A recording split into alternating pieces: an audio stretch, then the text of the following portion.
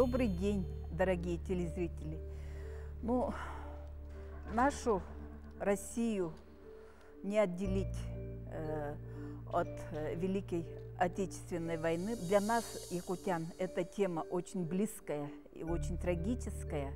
Поэтому э, мы э, сегодня будем говорить о войне, о ее последствиях, о битве под Москвой. Сегодня у нас гость из Москвы, замечательный писатель, военный писатель Сергей Егорович э, Михеенков, автор серии «ЖЗЛ» о маршале Георгии Жукове, Константине Рокоссовском и Иване Коневе. Добрый день, э, Добрый Сергей день. Егорович. Добрый день. Читали вашу повесть «Заградотряд». Там э, есть и якутский воин. Это вымышленный образ или этого героя вы нашли в архивах? Мы с Николаем Лугиновым получали вместе премию «Прохоровское поле». Это э, премия губернатора Белгородской области. И мы там с ним, так скажем, близко сошлись в плане как раз вот писательской судьбы, много общего, подружились. Он меня спросил, а вот что же ты ничего не напишешь о якутянах? Я говорю, Николай, вот я задумался. И совершенно как-то после этого, вот эти вещи вообще-то мистические. В архиве мне показывают один документ. Мы вам дать его для того, чтобы вы переписали хотя бы его или копировали, не можем, потому что это фонд закрытый. Но зная ваши книги, мы вам просто вот почитайте его и э, забудьте. Это было политдонесение. Как известно, фонд политдонесений, так же как и прокурорский фонд, фонд э, штрафных подразделений, закрыт. Политработники были народ грамотный, в своих донесениях касались не только чисто военных каких-то проблем, но и нравственных, там, социальных. Э, они могли поинтересоваться, как кормят солдат, как настроение, то и этот документ был э, не лишен вот этих, этой некой человеческой глубины. О чем же шла речь? Шла битва за Москву.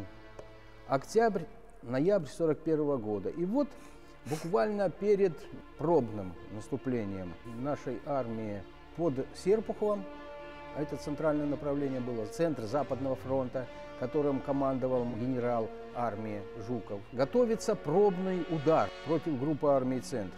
Собирается ударная группировка. Туда перебрасывается танковая дивизия, и гвардейский кавалерийский корпус генерала Белова. Замполит пишет, что вот прибыло пополнение из Якутии, хорошие воины, хорошо знают лошадей, а это важно для кавалериста было, выносливые в зимних условиях, а уже наступают морозы. Но, к сожалению, командиры с непониманием относятся я примерно цитирую, примерно, uh-huh. к этому пополнению, принимают его за выходца из Средней Азии, считают, что они воины никудышние, что будут мерзнуть в окопах, потому что кавалерия воюет э, в окопах, как пехота, только передвигается на лошадях. И в чем ее преимущество? Что она мобильна.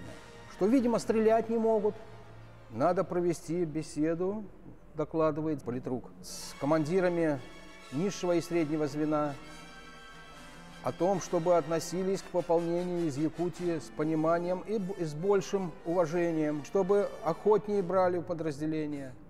Считаю, э, распределять якутян компактно, то есть взводами, но дать им русских лейтенантов, командиров, и назначить, назначить сержантами якутян, знающих русский язык, потому что там есть и э, из городов э, люди, знающие русский язык и якутский, чтобы они могли дублировать команды.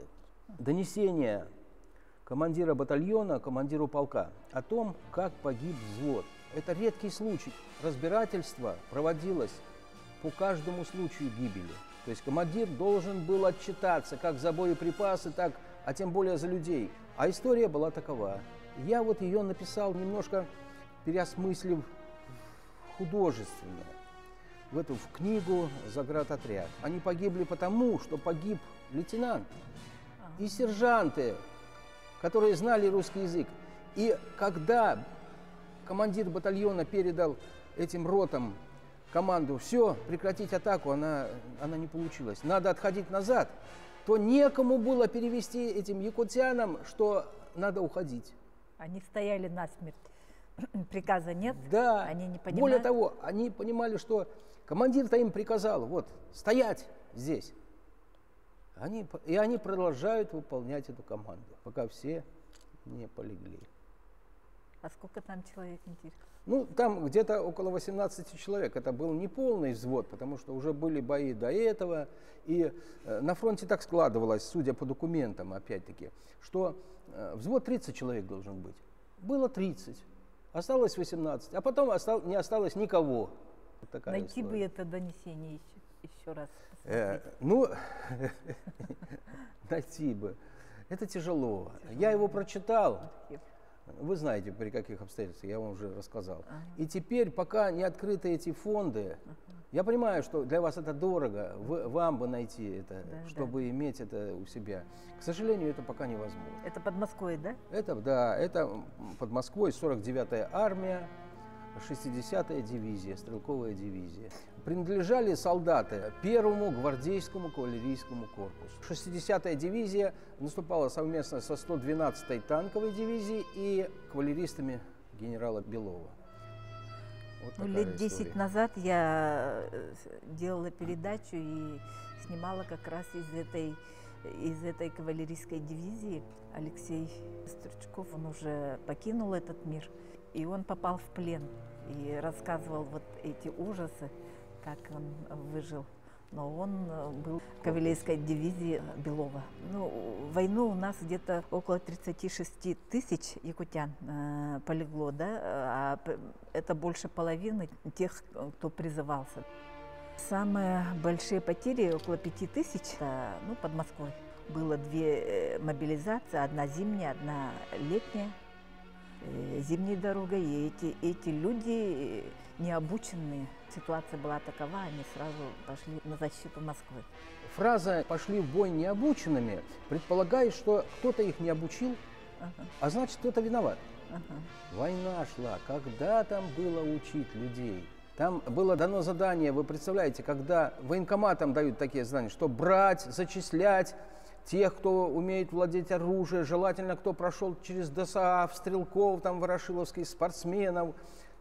Да, военком получает это, а потом начинает смотреть, кого призвать, а кого призвать. И вот начинают призывать всех подряд. А командир, который э, получает это пополнение, он думает, ага, ну они, видимо, умеют что-то. Но понимая, что вообще-то не умеют, уже в, э, в ротах и в батальонах прикрепляли их, этих необученных, к дядькам. На э, суконном языке это были э, инструкторы. И это было в старой русской армии, кстати. То есть прикрепляли молодого к старому воину, чтобы ему что-то он рассказал. Там не высовывай голову. Ты чего высунул голову? По башке ему там, по каске. А то сейчас вот тебе э, снайпер шибет. Он ему покажет, куда винтовку класть, чтобы осколком не вывела из строя, куда патроны класть, съедать ли весь паек сразу или что-то на потом оставить. Вот где курс молодого бойца, в окопе был. А это учеба, самое главное. Была э, на фронте такая поговорка, ну если не убила в первом бою, то повезло. Не убила во втором бою, о, ты молодец. Не убила в третьем бою, ну вот ты и солдат. То есть война учит всему. Конечно, э, э, немецкие солдаты пришли сюда более опытными, более э, обученными. У них уже, они уже с 1938 года воевали, у них уже было три года опыта, прежде чем прийти сюда. Это было, была очень сильная армия. С такой армией было трудно воевать и побеждать тем более. Поэтому вначале были бои неудачными, сражения были не в пользу Красной Армии. А потом все повернулось, все стало иначе. Мы, и мы теперь вот имеем такое э, огромное наследие. В том числе нравственное. Мы выше всех э, вышли из этой войны победителями. Нас учили, что исход войны решила Сталинградская битва, а вы считаете, что битва под Москвой? Сравнивать эти две битвы тяжело, Ага. А, а лучше этого не делать. Э, У мира, у всего мира э, было впечатление такое, что э, перелом произошел под Сталинградом. И тут я пытаюсь размыш- размышлять, а почему так мир думает? А потом, да потому что Германия так думала. Германия п- продолжала после Москвы продолжала блефовать. Так же, как Наполеон. Он вошел в Москву, но в душе-то думал, видимо, лучше бы и не входить в Москву. Так и Гитлер. Он подошел к Москве уже на последних силах. Но и ему где-то вот этот дух его превосходства, он его обманул. Хотя генералы, фельдмаршалы ему говорили, те, кто понимал в войне больше, чем он, что это все, все это может плохо закончиться. Ему говорили еще в августе в Могилеве, когда э, совещание он делал перед тем, как второй рывок сделать э, на Москву, что это опасно, что русские могут устоять. И русские устояли.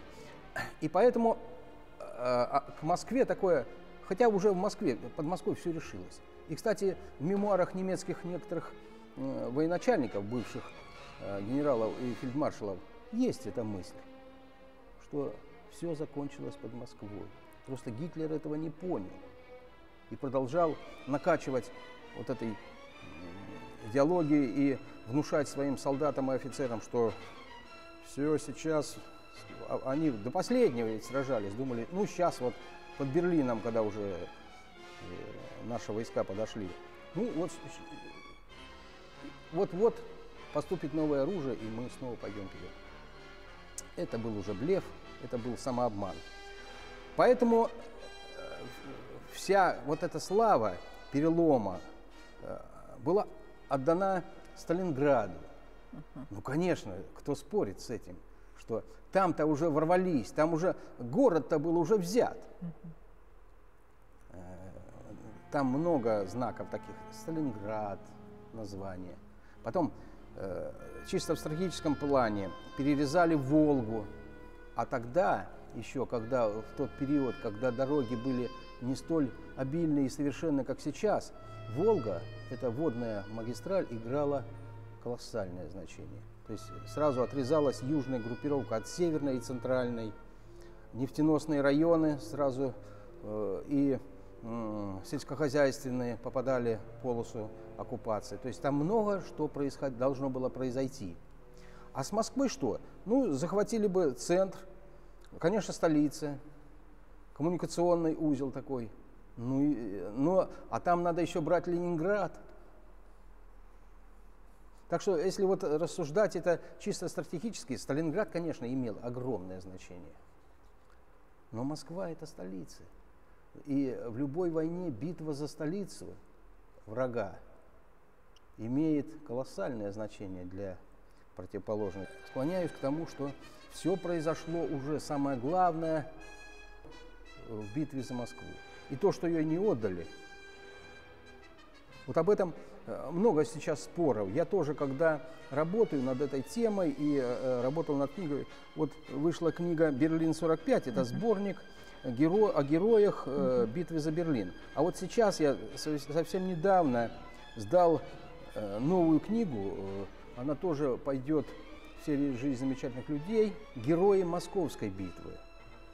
Герои Московской. Да, битва за Москву. Э, И вот э, там-то я и попытался э, какие-то мысли сгруппировать по поводу вот этого величайшего сражения. Там и цифры есть, и факты, и в том числе, опять-таки, попытка ответить на вопрос, который я и себе задаю, и другим при случае. А почему? Как же выстояли? Вот я всегда фронтовиков спрашивал.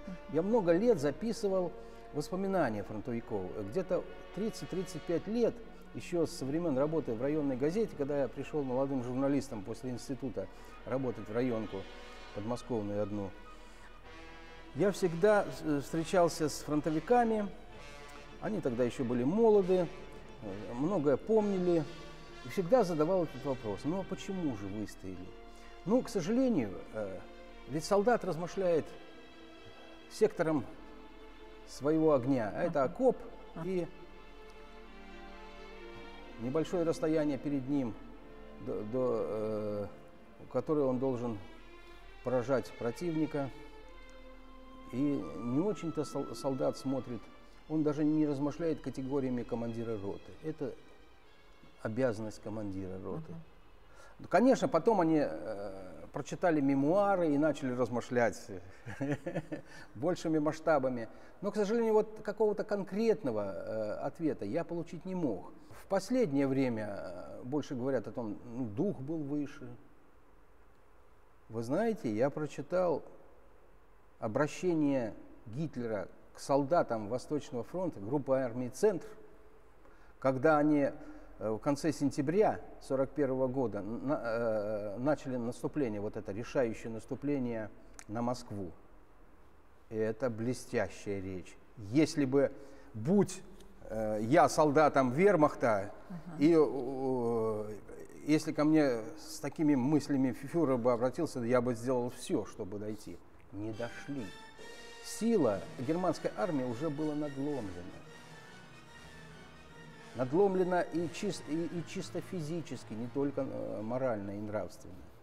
Надломлена от границы, от западной нашей границы и вот до смоленских рубежей, потому что здесь примерно остановились. Ведь в начале, первоначально, была мысль, что Блицкриг, мы знаем, это молниеносная война, э, что они э, эту войну с захватом столиц, Ленинград, Москва, Киев, проведут несколько месяцев, пока сухие дороги, пока в России не развезло. Они все знали это, рассчитывали, мы дойдем по сухой погоде, а потом перезимуем и пойдем дальше. Не пошли и не перезимовали. Ну, в Киеве, Киев захватили, да, там э, не, удалось нам удержать. Ну, Киев в истории нашей всегда то под поляками, то под немцами, то еще под кем то снова под немцами. Летом 41 года они были остановлены. Вот почему они остановились? Интересно. Да потому что уже были выбиты много, э, уже не осталось, э, надо было пополнять армию, э, израсходован ресурс, уже не хватало горючего, уже моторы израсходовались. Смотришь статистику, танки уже были выбиты в танковых группах. Много я прочитал немецких мемуаров, документов, они сейчас публикуются. Вспоминаю одну фотографию, она очень известная. Это фотография, немецкая трофейная фотография. Идет отделение солдат, идет, идут с винтовками, там идет техника, и они левее, правее дороги, если от них смотреть, идет вереницей это отделение. 10 человек немцев. Фотография сделана, они только-только пересекли границу. Все они арийцы, русоволосые, с чубами, такими красивые, все высокие, стройные ребята, все улыбаются, всем хорошо. И оказывается, потом среди трофеев эту фотографию нашли, а нашли ее где-то уже в 45 году. И кто-то из них сделал сзади надпись вот мое отделение. Я остался один. Этот там погиб в первом же бою, двое других погибли под Минском, еще один погиб под Могилевым, еще двое там были тяжело ранены и замерзли в госпитале под Волоколамском. Наполовину они исчезли еще до Смоленска их уже выбили, понимаете?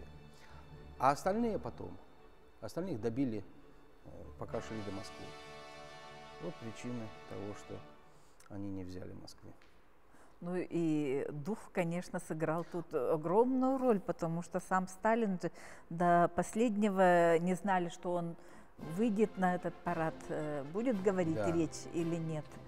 Но он все-таки вышел и очень многие солдаты прошли через парад. Дух сильнее, чем э, оружие и, и количество солдат. Но дух категория непостоянная. В одной армии он может быть сильнее, у второй слабее. Либо, как сообщающийся сосуд, он может, одна армия его теряет, а вторая армия его приобретает. Вот тут как раз произошло под Москвой, когда дух был возвышен. Последние документы, которые удается э, находить, свидетельствуют о том, что контрнаступление, вот у нас часто говорят, контрнаступление под Москвой, оно не было заранее спланировано. И Жуков об этом сказал, кстати, в одном из интервью. Контрнаступление началось из серии локальных ударов. То есть, когда э, уже э, наши войска, э, Западный фронт был восстан... и Калининский был восстановлен, когда подошли уже новые дивизии и даже резервные армии, это первая, э, вторая ударная и первая э, армия, десятая, то есть три армии прибавилось, совершенно новых, и они пошли потом в наступление. Э, много новых дивизий из Сибири пришедших, в том числе и ваши земляки, соотечественники, э, пришли с этим новым пополнением.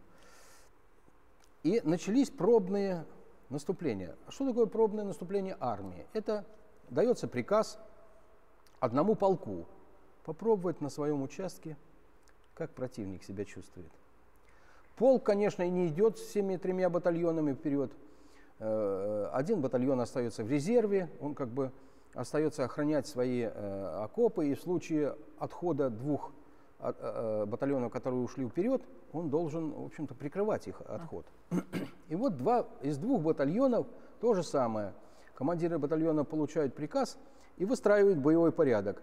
Одна рота идет вперед, вторая след за ней, а третья вообще в окопах остается. Таким образом, э, из полка идет реально вперед в атаку один батальон. Ну и, конечно, его э, поддерживает вначале артиллерия, делает или огневой налет более короткий, или артподготовку более основательную. Поддерживают танки. И вот эти батальоны идут вперед. И вдруг они обнаруживают впереди, что э, оборона-то немцам слаба, и что они э, при первом нажиме склонны отходить, уходить в глубину. И вот эти батальоны один раз сделали какой-то шаг вперед. Потом их, возможно, отбили, а возможно, не отбили, захватили две деревеньки, три там. Потом дальше, дальше, дальше. А потом вдруг после этой удачи начинаются... Так оно и было, вот судя по документам, которые мне удалось разыскать в архиве. Начинается уже наступление уже нескольких полков, дивизий, а потом армия переходит в наступление. Так оно и было. Э, то есть инициатива, одни теряют инициативу, другие ее приобретают. То есть хватают сразу на ходу, пока война это, это драка, только в больших масштабах и более организованная. Так, э, так и случилось. И эти, этот ресурс, который был накоплен под Москвой, он весь пошел вперед, конечно. Удар был, мощнейший. Вот иногда говорят, ну как же так?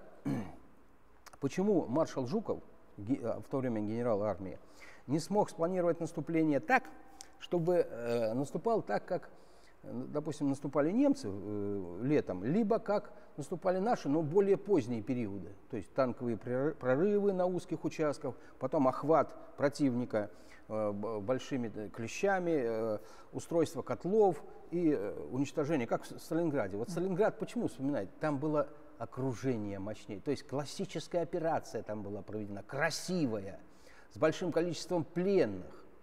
93 тысячи. Не одновременно было наступление. Пятого, все говорят, вот пятого Западный фронт перешел в наступление. Перешли несколько армий, но некоторые 16-го начали наступление, некоторые 19-го начали наступление, то есть гораздо позже, когда соседи уже ушли вперед. Поэтому произошло под Москвой выталкивание противника, овладение территорией больше, но не уничтожение его войск. Вы написали про маршала Конева, про Рокоссовского, про Жукова. Да. Для нас, для простого обывателя, кажется, у каждого своя какая-то стратегия или ну свой взгляд. да свой взгляд э, ну свой стиль можно так сказать военный можно ли вот так вот э, коротко охарактеризовать об этих маршалах а, победы они люди и у каждого свой характер свой темперамент и свой стиль ведения войны они были э, полководцами, военачальниками, руководили большими массами войск и огромным э, потенциалом э, такого вооружения, боевой техники. Им давали общие приказы, что вот фронт стоит, допустим, перед Донбассом или перед Харьковом, перед Белгородом, здесь перед Смоленском. Нужно овладеть этим городом. Этот военачальник, исходя из тех обстоятельств, которые сложились к тому времени на его фронте, то есть он же смотрит, какой у него потенциал людской, какие там оборонитель, кто перед ним стоит, какие оборонительные сооружения, какие препятствия, там водная преграда, горы, леса, болота. Э, потом здесь, допустим, шли, вначале были деревни, деревни, деревни, а там города начались, допустим, в Европу, когда вошли. Сплошные города. А уличные бои это совершенно другое. Это не в поле воевать и не в лесу. Другие обстоятельства. Он со, э, со своим штабом Э, формирует план наступления, э, исходя вот из, из... Потом он, командующий, едет в Москву, в Ставку, где он должен этот план доложить, и там у генштаба, у командующего, у Ставки могут быть поправки, потому что они исходят... Нет, дорогой. Да, он говорит, что если вы мне дадите, к примеру, да, да, мне необходимо для наступления еще 2-3 свежих армии. Э, там 200 «Катюш» установок, э, еще 100 танков, ну, я к примеру говорю. А там уже исходит, нет, дорогой, э, допустим, 200 «Катюш» мы вам не дадим, но дадим 150 танков.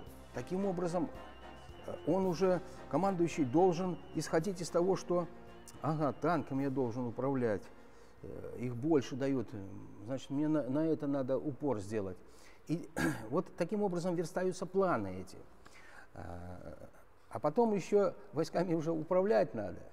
Э, тылы смотрят, сколько нужно горючего, сколько надо сутодач э, продуктов, э, где разместить склады с боеприпасами, потому что если планируется огромное какое-то продвижение вперед, как вот была Висло-Одерская операция, там от Висла до Ордера надо дойти больше сотни, ну, километров. А стало быть, артиллерийские склады нельзя размещать в тылу, а их надо придвинуть, иначе скоро быстро подвигающиеся вперед части, механизированные и пехота, скоро останутся без боеприпасов, и их артиллерия не будет поддерживать. А, а стало быть, надо наибольшее количество, либо наибольшее количество машин, которые будут двигаться вслед за ними в нескольких километрах, чтобы им, конечно, не разбомбили во время боя, либо размещать Склады, как это было сделано во время Веслоодерской операции, в непосредственной близости к фронту, чтобы они близко были. Чтобы, да, войска отодвинутся, но э, возвращаться за снарядами можно будет не так далеко.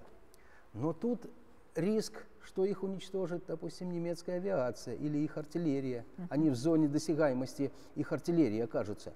А для этого нужно это сделать ночью и замаскировать так, чтобы противник ни с воздуха, ни визуальным наблюдением не мог их обнаружить. То есть масса вот этих нюансов, мелочей. Подготовительный перевод очень сложный. У нас войну больше знают это вот наступление, атака. А подготовка к, к этому, она занимает гораздо больше времени. И поэтому вот в этой книге, вот эта книга цена еще и тем, ну, похвалю себя, uh-huh. что здесь есть глава, посвященная Э, Николаю Александровичу Антипенко, генералу, заместителя, заместителю командующего второго белорусского, первого белорусского фронта, то есть Жукова, uh-huh. по тылу. Он был тыловик. И вот он подробно, кстати, я пользовался его, его мемуарами, он их писал сам, умнейший человек, дружил с Жуковым до самой смерти. То есть, а Жукова ведь многие оставили, когда он в опале, а вот он остался в друзьях как они подружились на фронте, он к нему как к боевому товарищу относился. Это вот тоже черта, одна из лучших черт человеческих, когда друг, ну мало ли что он оказался в опале, среди неугодных, ну ты ж друг, не бросай его. Он не бросил. Так вот, Антипенко пишет здесь, э, пользуясь его мемуарами и документами еще какими-то, Этот момент мной описан, как, как они организовывали тыловые работы. Было так, что они своих офицеров посылали в Баку с требованием для нужд Первого Белорусского фронта отгрузить столько-то, столько-то. А там собрались такие же подполковники и майоры с других фронтов и с такими же требованиями. Кого вперед? А, а состав формируется не так быстро, да? Где-то надо его эти э, э, цистерны отыскать, где-то сформировать. И начинается вот это работа. Кто вперед, кто, кто шустрее, кто как может это сделать. С одной стороны, устав и, и э, порядок для этих отгрузчиков, а с другой стороны, кто шустрее, тот и впереди. Кстати, критика отметила этот момент, что э, это ведь серия сборников «Герои Великих Битв», что впервые так подробно и рассказано о толовой службе. Берлин взяли, они и так голодные уже были там, берлинцы, гражданское население, да и пленные тоже, которые, а ее же надо было кормить. Мы ведь имеем много фотографий, в том числе и западных э, фотокорреспондентов, которые показывают, вот стоит э, кухня походная, угу. и солдат наш там повар угу. накладывает немцам котелки, они там кто с тарелкой, кто там чуть ли не с ночным горшком стоят, чтобы заполнить вот э, чтобы поесть. А представьте себе, э, что-то мы не имеем ни одной трофейной фотографии, когда немцы входят в Минск и кормят граждан, когда они входят там в Смоленск, в Брянск, в Орел, в Калугу мою э, родную. Что-то я не видел ни одной фотографии, потому что никого не кормили, а потому что за людей не считали нас. Вот.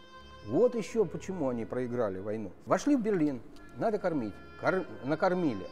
Ведь там было очень много угнанных наших соотечественников.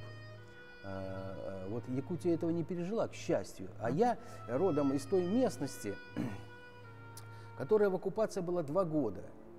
Молодежь почти всю выгребли, потому что часть ушли в партизаны, часть успели в Красную армию уйти, а часть немцы угнали на работы туда, в Германию, во внутреннюю. И нужно было их этих людей оттуда вывозить. Когда начали считать, то никаких составов для этого не хватает. И тогда было решено отправлять людей пешим ходом. ходом. Угу. Вот ни один народ на, на это, наверное, бы русские, да, вот решили пешком дойти до родины. И пошли. Тогда тыл Первого Белорусского фронта начал организовывать по пути, там через несколько километров, пункт питания, отдыха, э, первой медицинской помощи. Я не знаю, это был такой исход. Э, ни в какой Библии об этом э, нет. Жуков и Рокоссовский были кавалеристы. Их и тип атаки, и обороны, и атаки был таким. Особенно это ярко проявлялось у Рокоссовского. Это стремительность, мощный рывок вперед, действия в основном танковыми и пехотными частями. Управление танковыми э, подразделениями и соединениями было очень похоже на управление кавалерийскими массами. Конев был артиллерист, старшим фейерверкером в Первую мировую войну. Он это совершенно другой э, стиль ведения боя. Это значит, если противник наступает, то выбить танки в первую очередь. Э, из артиллерии этот тип э, вооружения знал хорошо, и он умел им управлять, и на него делал ставку. Коневу э, упрекают в чем?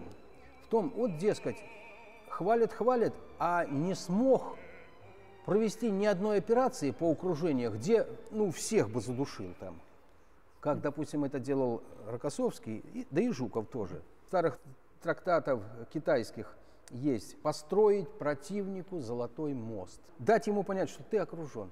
Но на одном из участков поставить слабый заслон. Желательно на какой-то дороге. Желательно в тыл, чтобы вот она была направлена. Так было под Харьковом, так э, под Корсунь-Шевченковским. Э, также операция проведена отчасти под, под Белгородом. Давал им приказ, что держать до определенного времени, потом оставить это. Немецкая разведка тут же начинала искать выход. Они готовят удар на прорыв, Конев в это время выстраивает вдоль выхода дороги, ставит свои артиллерийские части с двух сторон, э, лишь бы своих не побили. Он концентрирует оттуда все, танки, и э, артиллерию, и самоходные установки, и «Катюши» на этот участок. И вот начинается прорыв. Наши заслоны быстро отходят, колонны пошли. То есть Золотой мост построен. Иди, противник, по этому мосту. Он шел, и в это время начинается бойня. Вот я не могу не спросить об этом. Ну и сейчас тоже идет информационная война. Фильм э, «Штрафбат», да? Вы как историк, скажите, пожалуйста, свое слово. Последние э, фильмы о войне, кроме, допустим, 28 панфиловцев и «Звезда», э, это слабые фильмы. Это, по-моему, фильмы конъюнктурные. Там нет штрафбата, самое главное. Если вот взять чисто исторически, фильм «Третья ракета», вот та постановка с, с, с Жоновым, э, с Любшиным, там нет лжи. Там все привязано к конкретным, э, если уж ты начал, там об артиллеристах рассказано, ну там попробуй придерись там к каким-то деталям. Да любой артиллерист тебе скажет, там все четко, там все безупречно. Мне попался финансовый документ, 10-й отдельный штрафной батальон, который действовал под, на моей родине под Рославлем, э, Смоленской области, северный фас Курской дуги. Военкомат такой-то. К сожалению, после первого письма, отправленного такого такого числа, мы не получили ответа о выплате семье военнослужащего такого-то э, причитающиеся суммы. Я напоминается об этой сумме. Э, надеемся, что в диссидентный срок это будет, э, а мы получим от вас ответ. Человек воевал в штрафном батальоне, а его семье, как семье офицера, по-прежнему шло довольствие, потому что он отправил аттестат туда, своей семье. Так это же совсем другая картина, да? А, для, а нам показывают, что штрафники это такой народ, которого могут просто застрелить из пулемета, потому что он не туда пошел или во время боя себя не так повел. Нет, братцы, за каждого человека на фронте командир отвечал головой. Да, были приказы о расстреле на месте, но ты должен был отчитаться. По всякому поводу шло дознание, все разбиралось, э, это все было не так просто. А это самая главная ложь. Ну, не было таких штрафных батальонов. Надо было тогда где-то написать в титрах, что данный сюжет является вольной интерпретацией истории Великой Отечественной войны. Тогда все стало понятно. Спасибо, Сергей Егорович.